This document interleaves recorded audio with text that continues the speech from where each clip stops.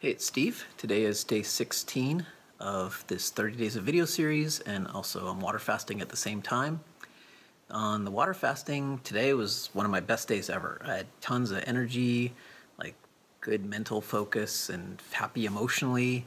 Um, I was able to go out walking for quite a while. I spent about three hours out today, uh, mostly walking during that time. I was just like amazed at how much energy I had. So that was pretty exciting. I kept staying somewhat close to the car because I didn't want to, you know, risk um, like a crash in my energy, but I just never crashed. I felt like I could have kept, going for longer too.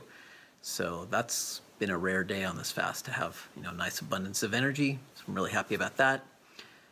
Um, I am missing food now and then, you know, especially when I walk past restaurants, um, like ones where I've eaten before, and I'm thinking like, oh, it'd be so great to get like some vegan pizza or something like that. Um, in fact, uh, a while ago, several days ago, I started making a list of like all these foods I want to eat when I'm done with the fast. And uh, of course, I can't eat them right away because with a fast of this length, you need to come off of it very gradually. So I'll have to go through a, you know, a sort of really gradual process of coming off the fast, like maybe starting with some diluted fruit juices and having some juicy fruit, maybe like watermelon, and uh, you know, gradually building up to smoothies and things like that. Probably do raw food for a while before I introduce any anything cooked. Uh, last time I came off my 17 day fast last year, I did it too quickly. I felt because I kind of pushed it to the last minute before I had to leave for a flight to London and I only gave myself like three days to come off the fast, and I think that was just way too short because I was like trying to get up to cook food right before I would leave so I could eat that way in London, and I remember having some like a cooked meal and it was just like really sitting heavy in my stomach and taking a long time to digest. So this time, I've allocated more time afterwards. I don't have a trip coming up right after this, so I can you know take my time coming off the fast uh, more slowly, more gradually. And the reason you have to come off it really gradually is that when you're fasting, your digestive juices become very weak. And so you just don't have the digestive strength to break down complex meals. So you want to give your body a chance to ramp up again. And uh, the more gradually you do that, the, you know, the easier it is. Uh, you know, one thing this, this fast is teaching me, and I remember I, I learned the same thing last fast, is it just teaches me to appreciate all the variety of different foods we can eat you know, quite often we get into a rut when we eat. We just keep eating the same types of foods over and over again. And, uh, you know, one of the things I found interesting is like often people who are looking at veganism from the outside in, like they've never been vegan for a while, and they look at veganism, they see it as a more restrictive diet. But I've eaten so much more abundance of different foods as a vegan than I ever did when I was, um, you know, like lacto-ovo vegetarian or eating animal products before that. And I, I think the reason is that it just got me to get into an ex- exploration mode because I had to try all these different you know meals and different dishes uh, as a vegan and learn how to make different foods. It just got me on a roll of trying all different sorts of things. But still, as you know, as you're on that path for a long time, like for me, it's been over 20 years on this path. You can get into a rut, and so the fasting I think helps just sort of reset my thinking about that. And I'm thinking about all these different kinds of foods that maybe I haven't eaten in years or things that I want to try, like new recipes to make, things like that, just to get more variety in. Um, and just to appreciate all the different abundance we have access to. So if you're eating right now and you get to eat food, um, you know, think about that. Like, like take time to appreciate all the wide variety of different foods you can eat. What are some some of your, you know, um, food, you know, some foods you like that you haven't had in years, like maybe go back and try them again or experiment with something new. There's just so so many different you know possibilities out there for what we can eat and combine to create different flavors and different textures and tastes. Uh, so you know, take advantage of all that variety. At least do it for me, so I can live vicariously through you. um, so you know I, I, think that's that's kind of a cool thing of, of, of, fasting another benefit of fasting and i remember this from last time is that it makes your taste buds more sensitive so like especially when you get you know salt sugar spices out of your diet i remember like when i started having spicy food after my last fast it was really spicy because normally i have a super high spice tolerance like rachelle and i will go to a thai restaurant and you know on a scale of 1 to 10 we want it to be like a 9 um, or even even a 10 uh, sometimes we'll order an eight, and that's like a mild for us. um, and and uh, you know after a fast though I can't tolerate anything like that. It takes a while to build up the spice tolerance again. But then everything becomes so flavorful. Like strawberries just taste amazing, and whatever I would eat, I would notice all these subtle layers of taste that I wasn't paying attention to before, or that I just didn't notice. Uh, so that's that's a really cool benefit of fasting. It's like hitting the reset button on your taste buds, and um, I think to some degree your sense of smell becomes more sensitive as well. It's like you sort of clean out everything and everything, um, you know, just just uh, you get rid of that desensitization effect from just overstimulation, too much salt, too many spices, that sort of thing. Um, the main topic I want to share is I know one that probably a lot of people are going to be interested in is creating financial abundance.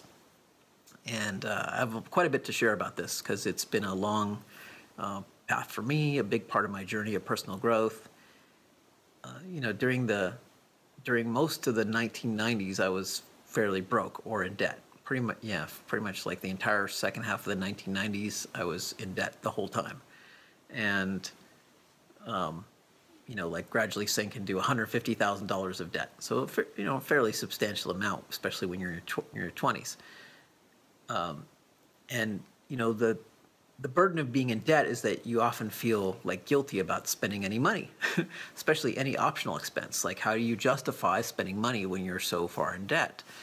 Um, and you feel you feel like you're constantly in this hole you have to dig yourself out of for, first before you can do anything else. Um, I remember, you know, um, my wife at the time, Erin, and I used to used to like, you know, try to carve out some way of treating ourselves, but we were always really cheap about it, and we just didn't have much cash. Like especially, um, you know, we ended up going bankrupt, and especially after that, we were ending, you know, some months with just like seventy dollars to our name and we try to carve out some way to treat ourselves. so treating ourselves would be like going to Taco Bell or to Subway for dinner much of the time.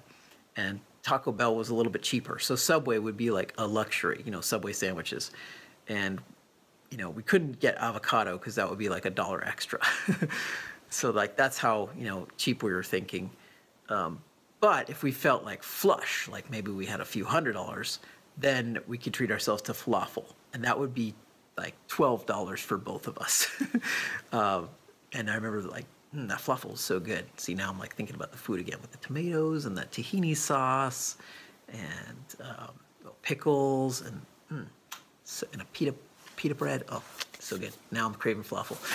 Um, sorry for that sidetrack. Just uh, indulging in some fantasies here because I still don't get to eat for a few weeks. Um, and, you know, it got to the point where couldn't pay the bills or like our minimum payments. I remember at one point we were like two thousand dollars a month, and it was just like on top of rent and everything. We just couldn't even make a dent in doing the minimums after a while. Uh, and then creditors started calling like ten times a day, every day. Like even on weekends, we were getting you know, phone was just constantly ringing. It would be like, geez, you know, we don't even want to answer the phone anymore. And in the beginning, I was thinking like, okay, I should answer these calls and you know, talk to them. And I was trying to explain things to them. You know, we're in trouble and we're trying to work things out. And all they, you know, the, all they cared about is like when you when can you make a payment. I realized these are just corporate drones. They're just doing the work of the corporations. They don't care about your story. They're just like trying to get money out of you. Um, you can talk to them, but they're whatever you tell them, they're just going to use it against you. So as I began figuring that out, I just stopped talking to them after a while, and um, and eventually we moved to a cheaper place to live and didn't forward the phone number, so they they didn't get our new phone number. I think maybe one creditor was able to find it somehow, but the, the, the creditor calls stop. And then eventually, of course, when you declare bankruptcy, all creditor calls stop. That's the cool thing about going bankrupt. And, you know, during that time, I was really resisting a lot what was happening. Like, I didn't really want to go bankrupt, and it, that kind of sucked. And you know, I was thinking, like, there's got to be some way to you know work this out. But um, things started changing when I just like surrendered to it and I just let it go and just said, you know what, my finances are screwed. Like, just got to go bankrupt. Let's just get this over with. And it was a big relief to just get that done because it discharged um, the debt. And then it's like, okay, a fresh start now. And I'm really grateful for the bankruptcy laws in the USA. Um, they've become a bit stricter since I went bankrupt. Uh, but uh, you know, some great famous people have gone bankrupt, like Walt Disney's gone bankrupt uh, multiple times, Abraham Lincoln, and it's like if you look at the list of famous people who've gone bankrupt, it's like there, a lot of them became very successful. And the cool thing I realized is like, you know, entrepreneurs are a good thing for society, and we have to give them a chance to fail. And it's like, you know, this debt is invented anyway. Um, and you discharge the debt and give somebody like that a fresh chance, it gives them a chance to get back in the system and create value once again. Um, instead, if you just like, you know, use an old school model of like putting them in debtor's prison, that doesn't do anybody any good. You're not going to get your money back by sticking somebody in prison. It's not going to do any good for society either. It, and you know, having that threat and that pressure doesn't actually make you more creative or make it any easier to get out of debt. Um, and I know in some countries it's like it's much harsher, much more difficult to do that kind of thing. So that's one thing I'm grateful for about having, you know, um, about living in a country with an entrepreneurial spirit like that is that it encourages um, some degree of risk taking. And you know, but the, so the question is like, how do you, you know, like, like what happens next? So and how do you how do you go from like you know this mindset of sinking into debt or having scarcity and nitpicking little expenses like the cost of a meal at Taco Bell, um, and from there to like you know my current reality is very abundant. Like today, um, I made about twenty thousand dollars, a little more than that. Uh, yesterday, I made it um, around ten thousand dollars, and you know, there's an objective reason for that because I just opened registrations for Conscious Growth Club, so people are starting to sign up for that now. So that's you know gives a boost to my income, and to me that that sort of thing feels normal now. Whereas in the past, like back say in 1999 when I was going bankrupt, that kind of thing, like making twenty thousand dollars in a day, while I wasn't really even working much. I mean, I was hanging out with people in the forums, but otherwise I wasn't working. I spent much of the day out um, or just like kind of you know, working on some personal stuff.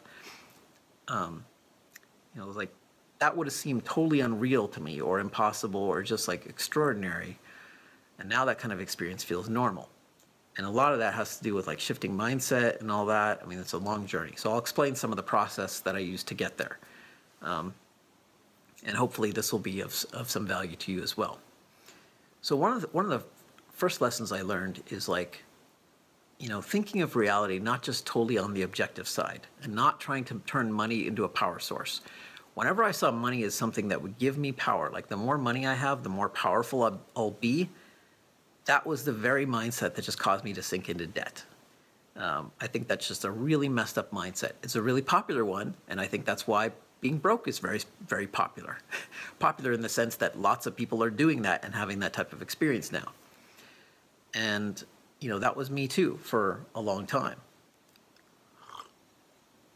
And I began, um, I began exploring the, you know, the subjective side of reality. So the objective side of reality is the side, you know, is the perspective that says, hey, this is a very physical reality. It's physical space.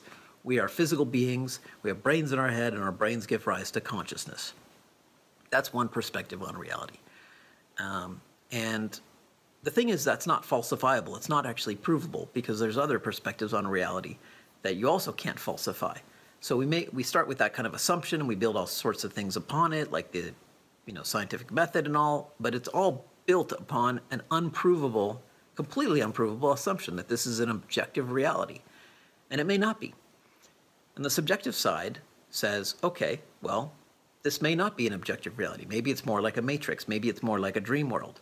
Because if this were some kind of prolonged dream, much like our nighttime dreams, but just more extended and maybe more consistent, um, how would we know? you know, like if this were some kind of projection or matrix, you wouldn't you wouldn't be able to tell the difference. It would seem just like this objective reality. And uh, if you've ever done lucid dreaming, and I have um, done that quite a bit, then you know when you're lucid in your dreams and you become aware of your dreams, you can gain more control over your dream. Well, I think to some extent, it's it's this reality. You know, the subjective perspective is basically like that as well. The subjective perspective says that um, it's not physicality that's primary; it's consciousness that's primary. It's like there's some kind of consciousness or awareness or dream simulation, and physicality, all this physical stuff, our bodies and such, arises within it. And so our consciousness may not even be rooted in our brains per se, but it's more like we're dreaming up that it that that's the case. And so the whole objective reality, the whole objective storyline is just part of the dream, it's part of the story. Now, which one is true? I would say neither, actually, because I don't see either one as being truth. I think they're both different perspectives, they're different ways of looking at the same reality. Um, and I think it's a bit of a trap when you get caught in this perspective like it must be objective or it must be subjective. And I've gone down both rabbit holes. I was kind of raised in the objective model. I explored the subjective model for quite a while. And if you if you get so stuck in one or the other, I think that's really limiting. If you try to go deep in the subjective side, one people you know often people say, well, hey, if this is a subjective reality, then shouldn't you be able to manifest superpowers and stuff like that? And that would probably violate the objective story and except to the extent that you could create an objective storyline that somehow gave you superpowers. Like, you know, we come up with some new technology in this world that lets people fly, and now you can fly. Um, and and so I, I find that you know the best way to think about reality is is to look at it through both lenses, and you can alternate between them.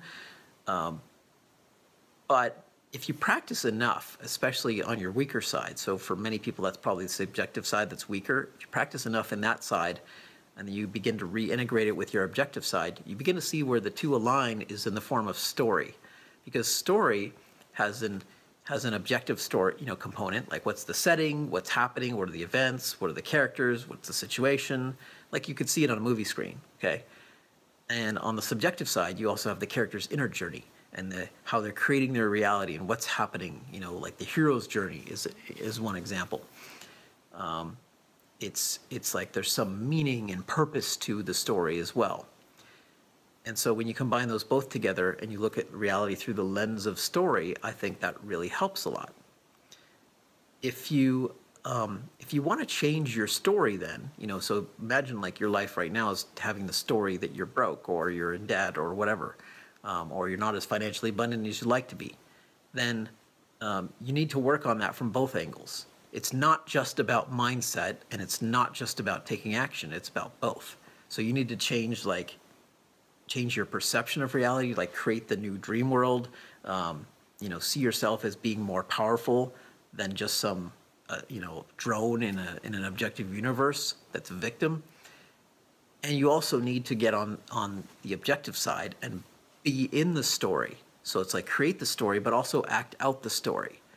And if you don't do both, I think that's just extremely limiting. I meet people all the time who are like way caught up in this law of attraction stuff. And, you know, re- reality is the matrix and all that.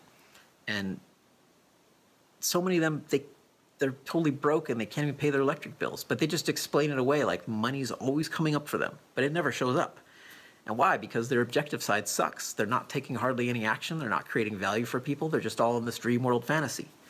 Then I know other people, they work their asses off. They work hard, they, they plan and they try to, you know, create something and get something going, but they see but they are constantly victimized by financial setbacks and just like never, things never work. They can never um, get that big shift into abundance. Why? Because they absolutely suck on the subjective side. Because they treat money as a power source and they chase it. They make all comp- kinds of compromises in their lifestyle. They're not having fun. They're not serving in a way that feels good and creates flow. They're just like slaving away uh, or being a people pleaser or you know just like working at a job they don't even like. They're tolerating all kinds of crap that a person who'd mastered the subjective side would simply not tolerate. I want to clarify the difference between rejection and resistance. What you want to do is when you're living in a reality that you realize kind of sucks, um, and this is something that a, a, a, woman I was dating many years ago um, taught me. This was like back in the early 90s. Um, is if you don't like your reality, like go on the subjective side and basically say something like, "This is not an acceptable reality," and and basically reject that reality that's rejection, where you basically say, This reality sucks. It's time to change it. I'm going to change it. I've got the power to do so. Let's change it. Let's make this a different reality for me now. Okay? That's powerful when you can say that sort of thing. What's not powerful is resistance. Resistance is not rejection. Resistance is when you're tolerating a crappy reality, but you don't like it. But you're still tolerating it. You're letting it be there. And that's a mistake. And that's what so many people in, in you know, um, financial scarcity do. That's what I did. I was doing the tolerance thing. I was resisting it. I was trying to work with it when I should have just, you know, and I was trying to work so much on that objective side when I should have gone to the subjective, subjective side and said, you know, screw this, fuck this. Um, I'm not going to work with this reality anymore. I'm going to create a different reality.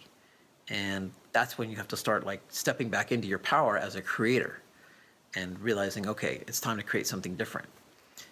And it's it's kind of funny, you know, like just how weird reality gets when you explore the subjective side. And you see all these like hints and nods and acknowledgement from the universe, like, yes, you are indeed more powerful. Yes, this is a matrix. Um, like as I was um, thinking about what I was going to share this evening, um, Rachelle texted me.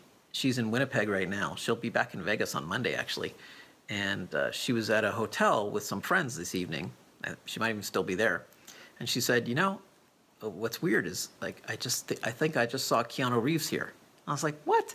Keanu Reeves? Why would Keanu Reeves be in Winnipeg, Canada? You know, it's like, that doesn't make any sense.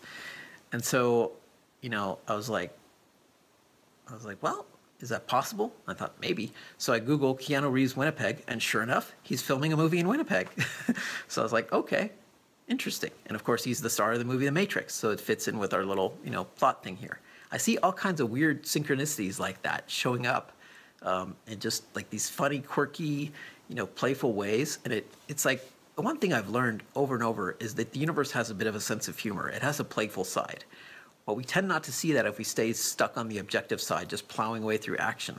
It's when we start stepping into the subjective side and we begin, you know, trying to um, wield more thought power over creating our reality and uh, you know playing with it and creating a different relationship with reality and stop seeing money as, especially as a power source and just see some it's something as like part of the storyline part of some something we play with um, then reality acknowledges you know us in some in some ways. Um, I call those alpha reflections. Like it's like reality is just saying like you know here's a hint that you're on the right path, or yeah there you know there is more to this reality than you expect. And I've just seen so many freaking weird experiences over so many years of going down this rabbit hole and exploring the subjective side.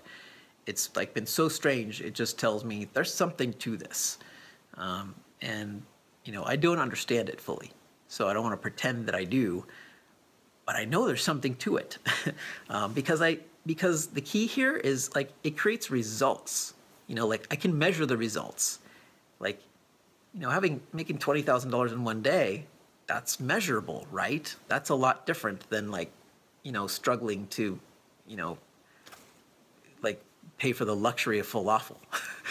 um, so so if it didn't get results, I would have rejected it and moved on to something else. But the fact is, it does get results uh, for me and for other people who've tried this kind of thinking. And what I found is, you know, I've met a lot of wealthier people, and the thing I see more and more often, you know, when I meet millionaires and stuff, is like, like mindset. They had to go through some major process of mindset shift, and they really feel powerful over their realities. It's like this pattern I see over and over and over again they had to step into the subjective side. Now, many of them, perhaps most of them, don't explain it in subjective reality terms.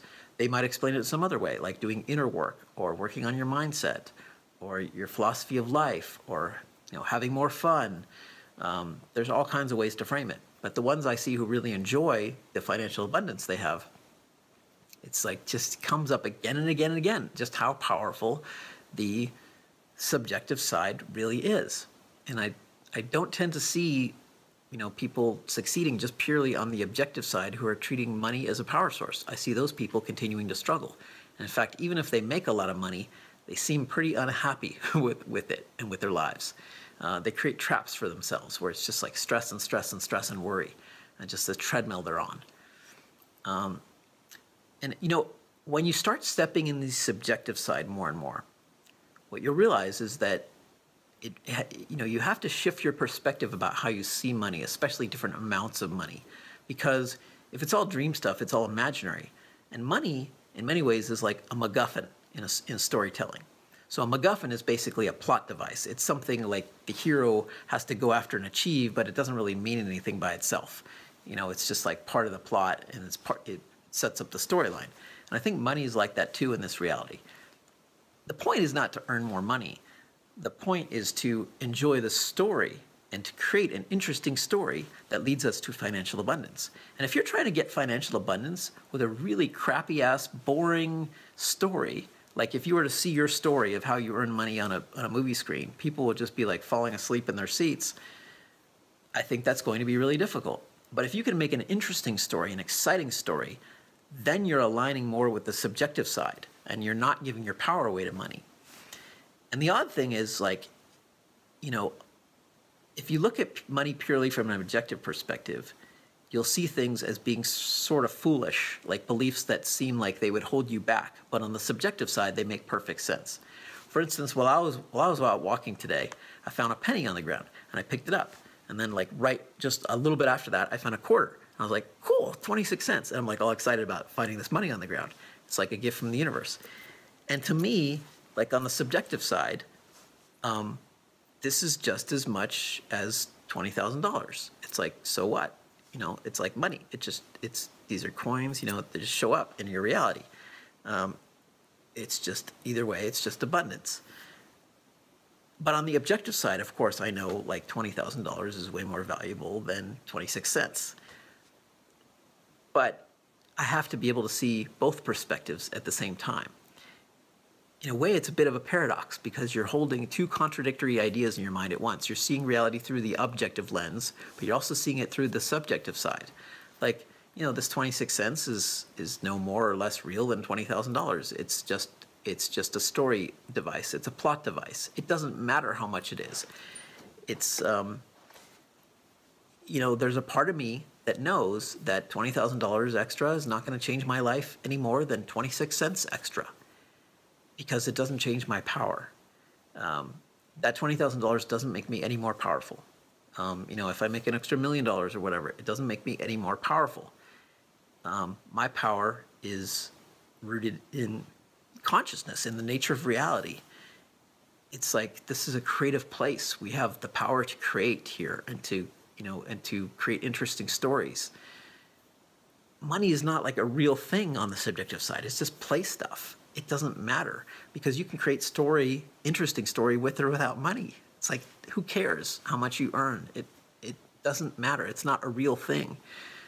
Um, and the you know on the objective side, the story of how I made the money was like okay, creating Conscious Growth Club and you know starting to open up by sending early access invitations. And I'll probably make you know a lot more money this coming week as more people sign up for that. Now on the objective side, it's like, okay, yes, oh, it was months of hard work leading up to it, and a lot of planning and thinking and careful decision making, and a lot of technology involved, and um, design work, and um, some coding work, and you know all this effort using different WordPress plugins to accomplish different things, setting up the forums, setting up the server, uh, all this stuff, and of course, you know, years and years and years of experience with personal growth, um, so I can actually provide value for people doing this. That's the objective side. The subjective side is just like, this is an awesome thing to create. Like, who cares how much money it makes? Um, let's make this, you know, something that's a great opportunity for people to connect together, and they can, um, you know, help each other grow, and create so many cool ripples and growth experiences. And that side is way, way more inspiring to me, and that's what that's what creates all the fun, the motivation. Um, and then the money just shows up as like a plot device. It's part of the story you know, but it's not it's not the goal. So don't make money into your end goal. It's it's a crappy ass end goal. Every time I've tried to make money as an end goal, I've always failed. It's like always just sunk me into debt or it's just like backfired or just created crappy circumstances where I had to do things I didn't like to make money. And if I just focus on like the subjective side, like this is a dream world, like what could we create here? What could be fun and interesting and and uh, you know create interesting ripples in the story of this reality of life and with the other characters and like what characters do we want to bring together and one thing i love especially is like all these awesome people i met at previous workshops that i'd love to spend more time with um, you know many of them have already um, joined conscious growth club so now it's like i get to hang out with these cool awesome people every day and be part of their growth experiences and we all get to just like, encourage the heck out of each other like every single day for you know at least the next um, year and beyond. Um, that to me is awesome story.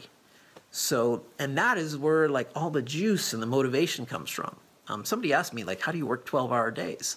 You don't do it by, you know, fiddle farting on the objective side if you don't have a good story on the subjective side. Like what's your, what's your hero's journey? What's your inner journey? Um, you know, for me, my inner journey, journey, a lot of that was like being very shy as a kid, um, being totally, definitely afraid of public speaking, being very, very introverted, and going and exploring, you know, um, like creating a richer and richer social life and figuring out what actually makes me happy and what makes other people happy, what creates joy and abundance for others. And so much of it is just like the social connections. And if your social life is rich and flowing, you're going to feel like so much more abundance than than if you master the financial side but don't have that social abundance. And the thing is, like the social abundance often leads to financial abundance. And the way that shows up is you start connecting with people who are um, earning more money than you, who have like figured out their next level of the matrix, like how to manifest um, more strongly than you can. And that was a powerful lesson to me. And you can you can look at this through the subjective lens or, or the objective lens. They both work on the subjective side, it's like you're thinking of like, okay, this is like a lesson from the matrix that it's time for you to become a more powerful creator. And so you start seeing these more powerful manifestors showing up in your in your reality. Um, and and maybe they're just dream characters that are there to give you that message. On the objective side, it's like saying, hey, you become like the people in your network. And so you need people in your network who are making more money than you so you can learn from them. And you learn like how did they do it and you model them. So this is another thing that works from both angles. It makes sense subjectively and it makes sense objectively. And so enriching your social life with people who are earning a lot more money from you is a great strategy. Uh, when I when I was getting um, you know through the bankruptcy, one of the best things I did was um, get involved in a trade association. Uh, back then it was called the Association of Shareware Professionals. Today it's called the Association of Software Professionals.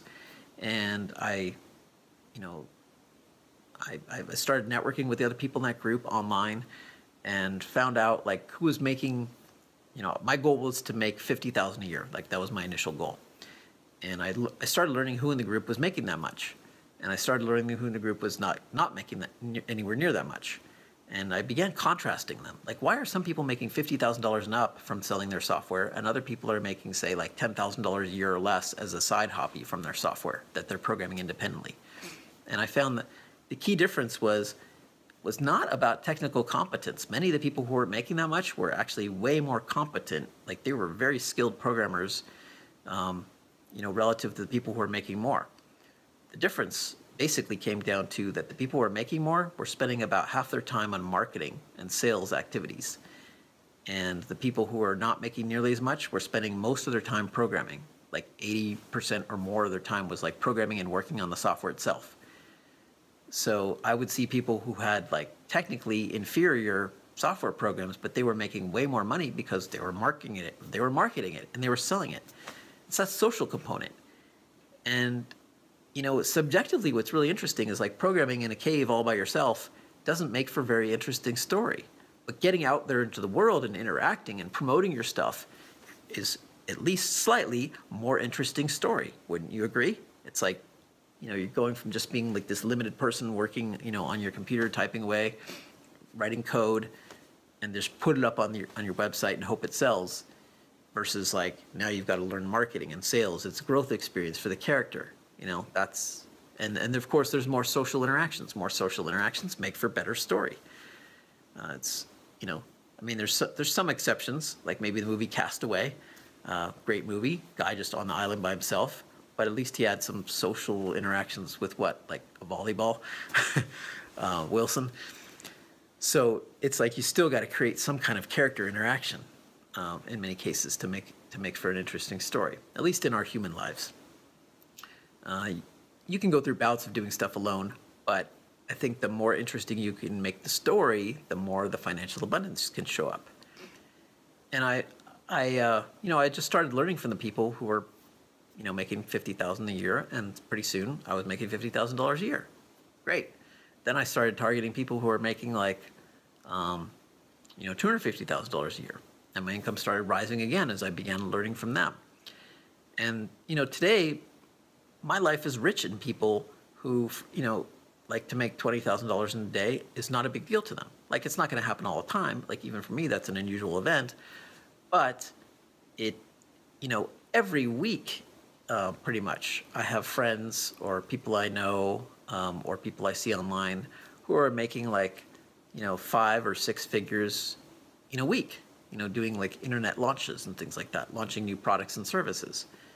Um, like just they're they're constantly a part of my reality, and so that makes it very normal for me. And it um, it's like an invitation on the subjective side, like my realities, um, since it's rich in these characters, it's like inviting me to join them. Like here, join the party. Like like become one of us.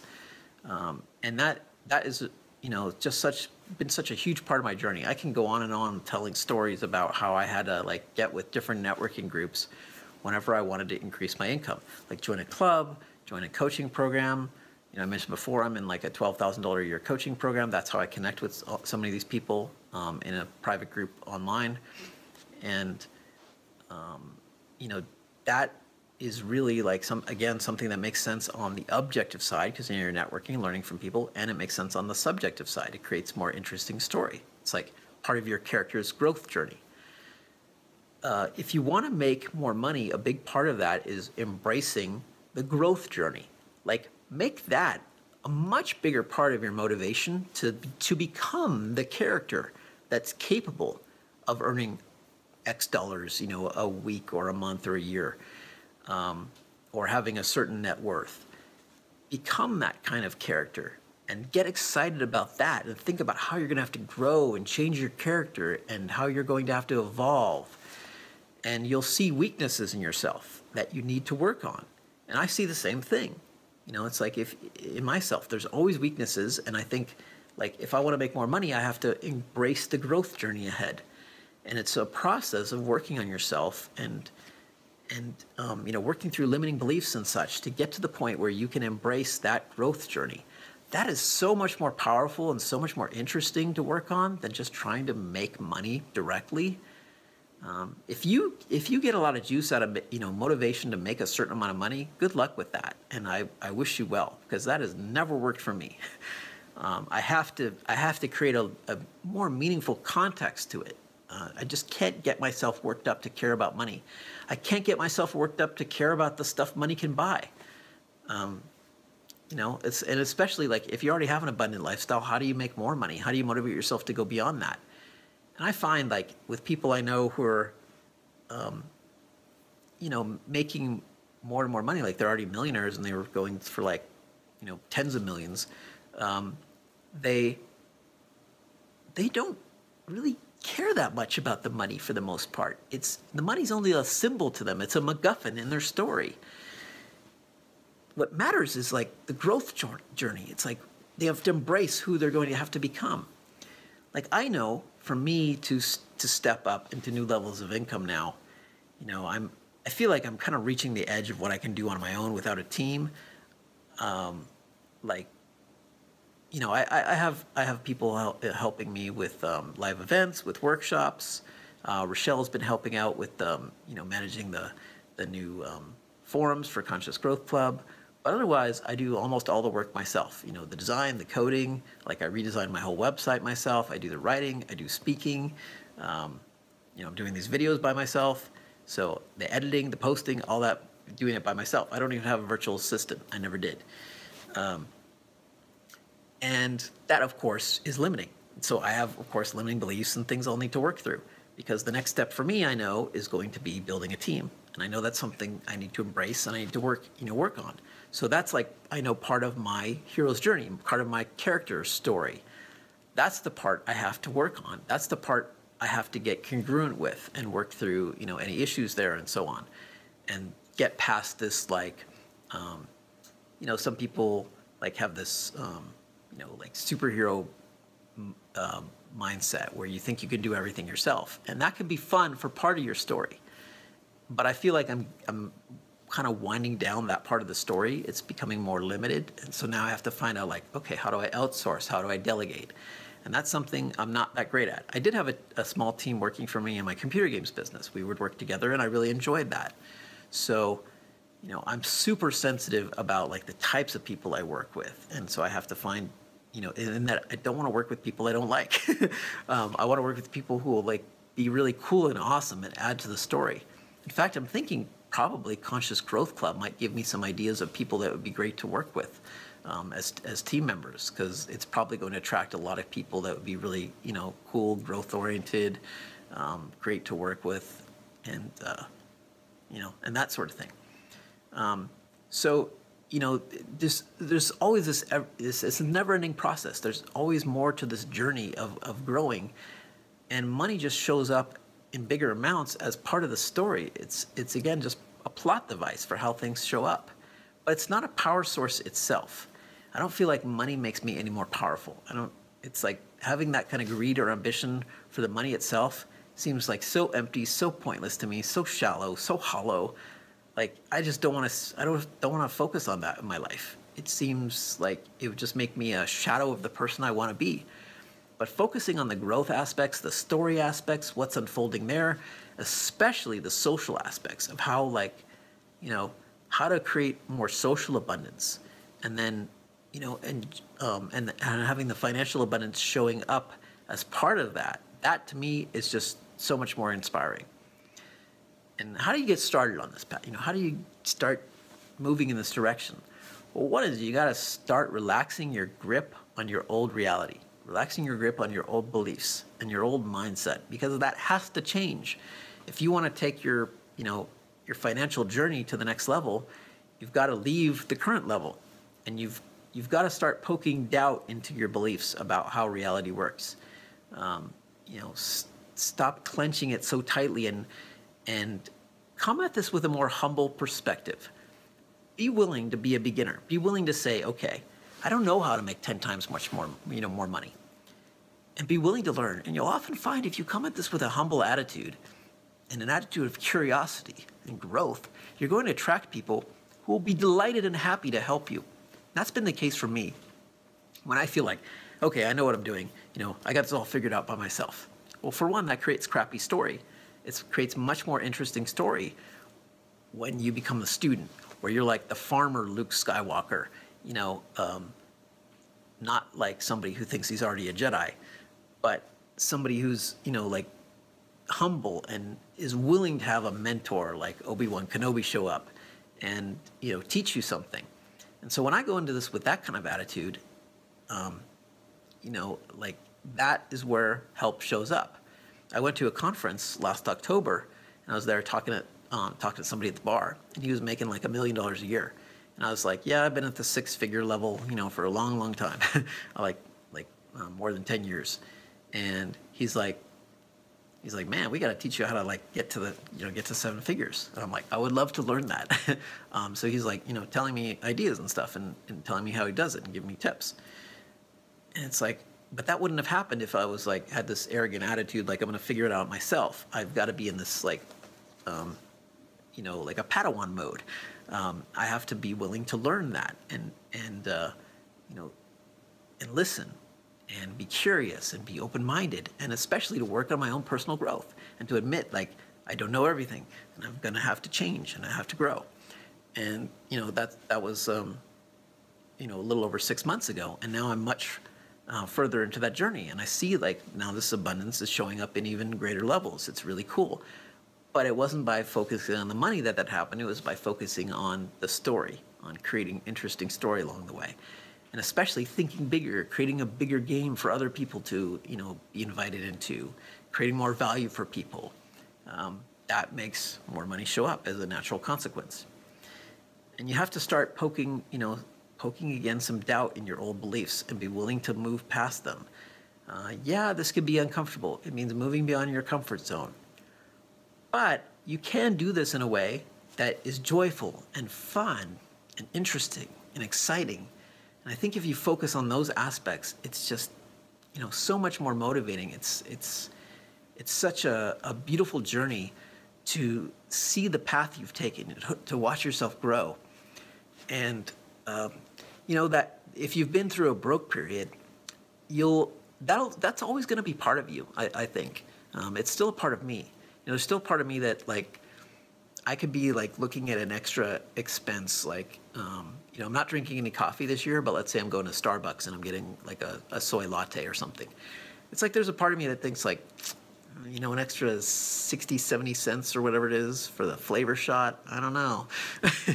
you know, and it's like, it, it, it's ridiculous, you know. And I talk to other people who have a lot of money, and they're like that too. It's like they'll still nitpick um, a dollar or you know expense like that. And so don't don't feel like don't buy into all this crap about all these little limiting beliefs you necessarily have to get rid of, because the wealthy people I know they still have the same limiting beliefs. Um, Bill Gates was asked in an interview many years ago. You know, he's like multi-billionaire. He was asked if you found a hundred dollar bill on the sidewalk, like it's clearly not even worth your time to pick it up, but would you pick it up? And he said he probably would because he learned the value of that money. You know, he learned the value of a hundred dollars way before he was a billionaire. And I thought that's interesting. You know, it's like even Bill Gates might have this little illogical limitation in his financial belief. Um, in his financial beliefs, and it doesn't matter. And so, you know, I meet all kinds of wealthy people, and they have all kinds of limitations in their beliefs.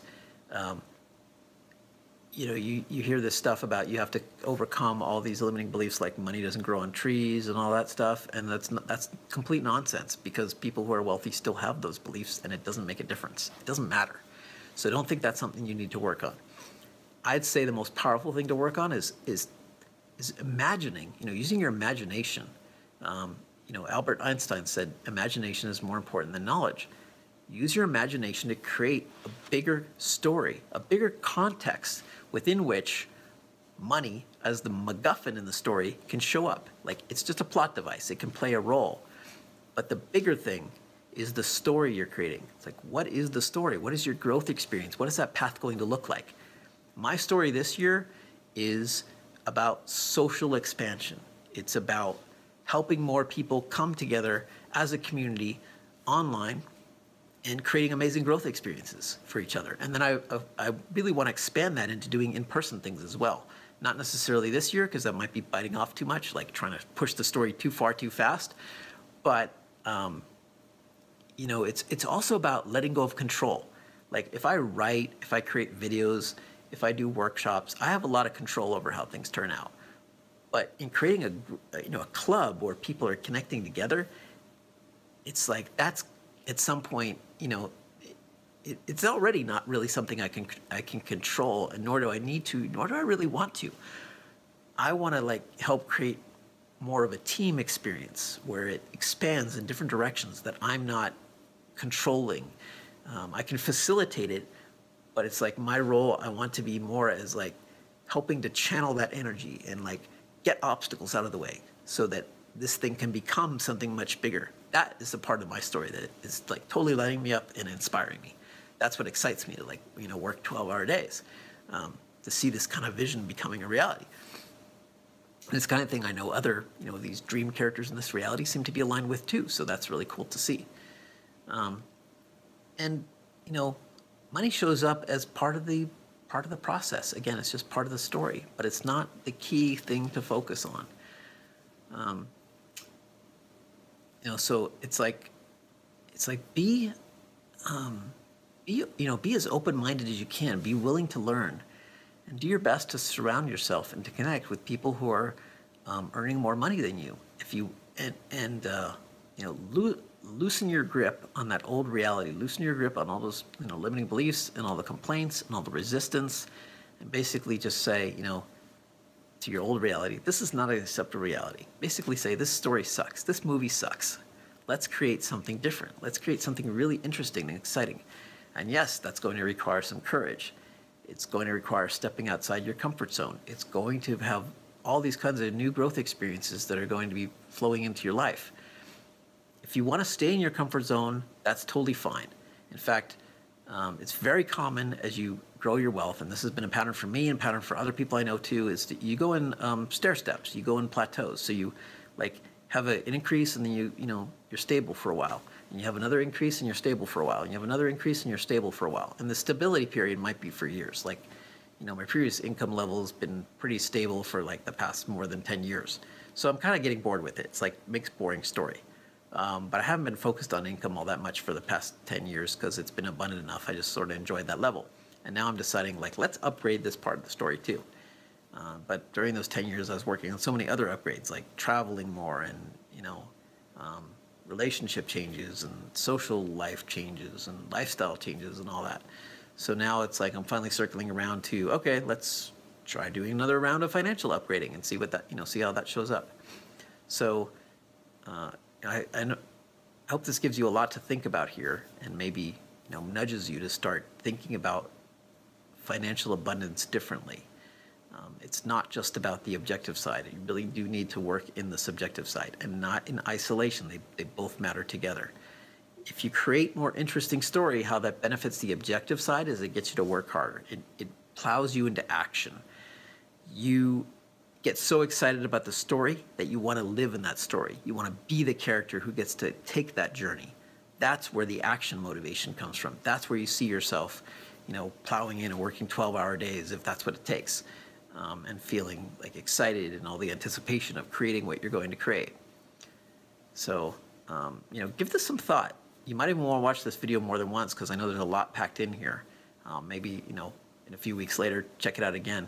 It'll be here online for a while. So, um, you know, let this let this sink in. Um, you know, start taking some some steps in the direction of putting some dents in your in your previous limiting financial beliefs um, you know, be open-minded, be humble to learn from people who, who are earning more money from you, and start start playing around with reality as a matrix. You know, start having that whoa moment um, where you know you you start inviting new things that may be possible, and uh, and I think you'll see some some real progress there if you do that.